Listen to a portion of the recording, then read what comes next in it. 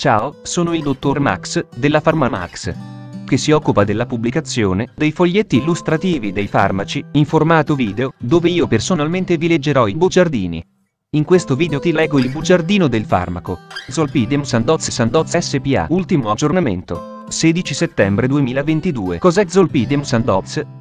Confezioni informazioni commerciali sulla prescrizione indicazioni posologia controindicazioni avvertenze speciali e precauzioni di impiego interazioni con altri medicinali e altre forme di interazione assumere zolpidem sandoz durante la gravidanza e l'allattamento effetti sulla capacità di guidare veicoli e sull'uso di macchinari effetti indesiderati sovradosaggio proprietà farmacodinamiche proprietà farmacocinetiche dati preclinici di sicurezza elenco degli eccipienti farmaci equivalenti farmaci esteri cos'è zolpidem sandoz Zolpidem Sandoz è un farmaco a base del principio attivo zolpidem tartrato, appartenente alla categoria degli ipnotici e sedativi benzodiazepinici e nello specifico benzodiazepine analoghi. È commercializzato in Italia dall'azienda Sandoz SPA. Zolpidem Sandoz può essere prescritto con ricetta RR, medicinali soggetti a prescrizione medica. Confezioni Zolpidem Sandoz 10 mg 30 compresse rivestite con film informazioni commerciali sulla prescrizione titolare. Sandoz SPA Ricetta. RR Medicinali soggetti a prescrizione medica classe C Principio attivo. Zolpidem tartrato gruppo terapeutico. Ipnotici e sedativi benzodiazepinici forma farmaceutica. Compresse rivestite indicazioni Zolpidem Sandoz è indicato per il trattamento a breve termine dell'insonnia negli adulti in casi in cui l'insonnia è disabilitante o causa grave disagio per il paziente. Posologia Il trattamento deve essere il più breve possibile. Generalmente, la durata del trattamento varia da alcuni giorni a due settimane, fino ad un massimo di quattro settimane, compresa la fase di graduale diminuzione del trattamento. Il periodo di graduale diminuzione del trattamento deve essere adattato alle necessità individuali. In casi particolari può essere necessario un prolungamento oltre il periodo massimo di trattamento. In questi casi il prolungamento non deve essere effettuato senza rivalutare lo stato del paziente. Assumere il prodotto con del liquido prima di coricarsi. Posologia adulti. Il trattamento deve essere assunto con una singola somministrazione e non essere risomministrato durante la stessa notte. La dose giornaliera raccomandata è 10 mg da assumere immediatamente al momento di coricarsi. La dose giornaliera totale di Zolpidem non deve superare 10 mg. Persone anziane per i pazienti anziani o debilitati che possono essere particolarmente sensibili agli effetti dello Zolpidem, la dose consigliata è di 5 mg. Questa dose deve essere aumentata a 10 mg solo quando la risposta clinica è inadeguata e il farmaco è ben tollerato. In nessun paziente deve essere superata la dose totale di 10 mg. Pazienti con insufficienza epatica Per i pazienti con insufficienza epatica che non eliminano il farmaco rapidamente come i soggetti sani, la dose consigliata è di 5 mg. Questa dose deve essere aumentata a 10 mg solo quando la risposta clinica è inadeguata e il farmaco è ben tollerato. In nessun paziente deve essere superata la dose totale di 10 mg popolazione pediatrica Zolpidem non è raccomandato nei bambini e negli adolescenti sotto i 18 anni di età, a causa della mancanza di dati che supportino l'uso in questa fascia di età. I dati disponibili dagli studi clinici controllati con placebo sono presentati nel paragrafo 5.1 controindicazioni insufficienza epatica grave ipersensibilità al principio attivo o ad una qualsiasi degli eccipienti elencati al paragrafo 6, 1, sindrome dell'apnea durante il sonno astenia grave insufficienza respiratoria acuta e barra o grave, avvertenze speciali e precauzioni di impiego generali quando possibile, determinare la causa dell'insonnia. Prima di prescrivere un ipnotico, trattare le condizioni di fondo.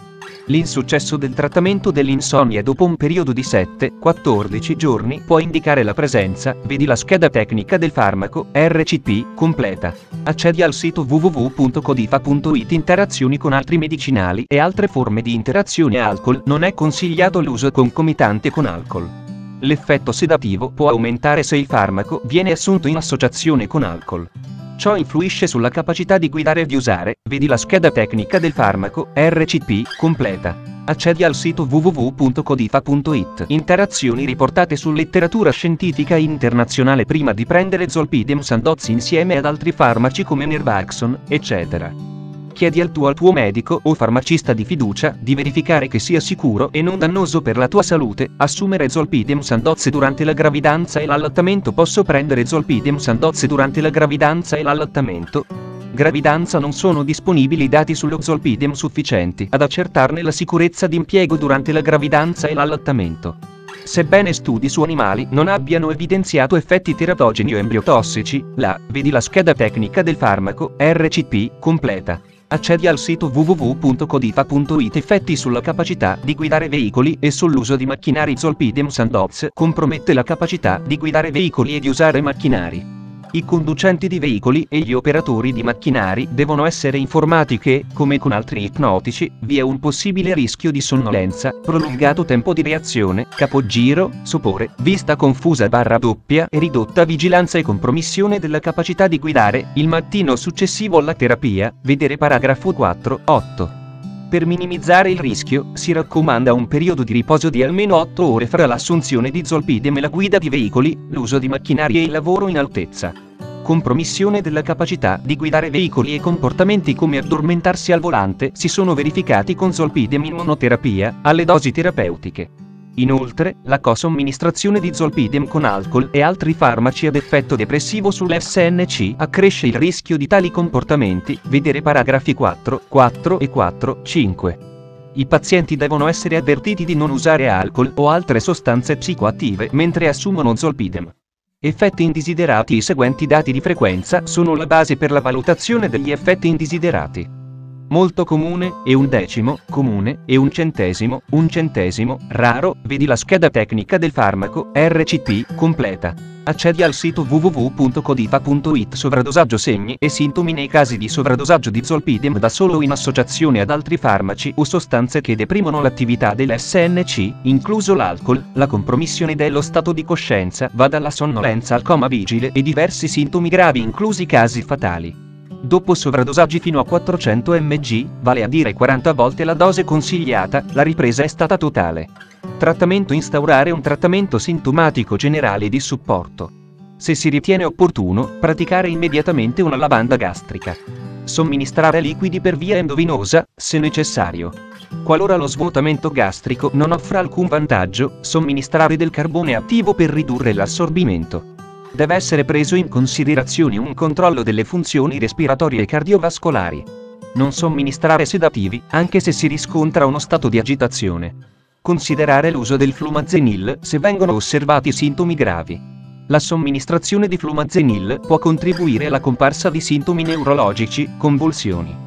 Nel trattamento del sovradosaggio con qualche prodotto farmaceutico, tenere presente che più sostanze possono essere state assunte dal paziente considerato l'alto volume di distribuzione e l'alta capacità di legare proteine dello zolpidem, emodialisi e diuresi indotta non sono misure efficaci. Studi di emodialisi in pazienti con insufficienza renale, trattati con dosi terapeutiche, hanno dimostrato che lo zolpidem non è dializzabile. Proprietà farmacodinamiche categoria farmacoterapeutica. Ipnotici e sedativi, analoghi delle benzodiazepine codice ATC.